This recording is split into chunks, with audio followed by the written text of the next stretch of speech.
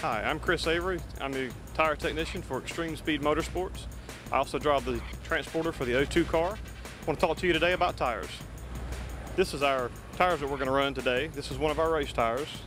We run a Michelin competition spec tire. Um, we're running BBS wheels. Everything's getting greener and greener. Our, our tires have green technology in them as, as well as our wheel weights.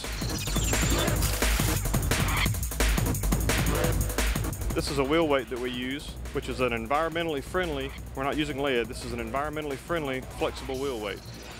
They hold the same heat, they, uh, they stick, they don't come off. That way we don't put lead around the racetrack, we're not hurting the environment because of our racing. Our tire technology is getting greener, um, less hazardous materials and chemicals in that, so that's helping out. So we're also green racing with that.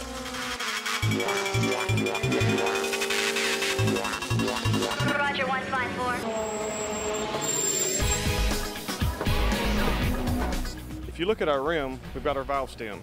Now what you can't see is on the inside of the rim, there's a tire pressure sensor.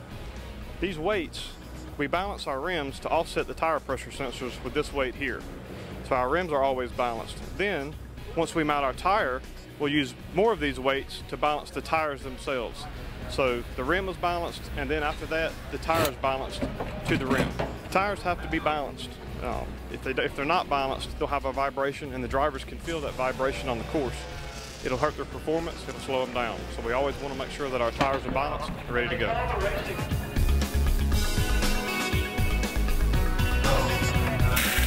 When we pick our tires up, Michelin mounts and balances our tires for us. When we pick them up, we'll take them and we'll check our pressures. Just like your road car typically has 36 pound of pressure, we adjust these pressures to achieve our hot pressure. And each corner of the car is different. Fronts are different than the rears.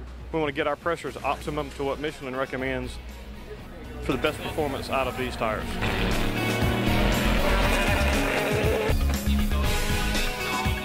Tire pressure sensor. When the car is on the racetrack, these sensors will transmit through the telemetry and we can look at the laptop in pit lane and tell exactly what our tire is doing. They give us a tire temp, they give us our tire pressures. We have a flat, we have a tire going down. We know it before the car ever gets back to pit lane.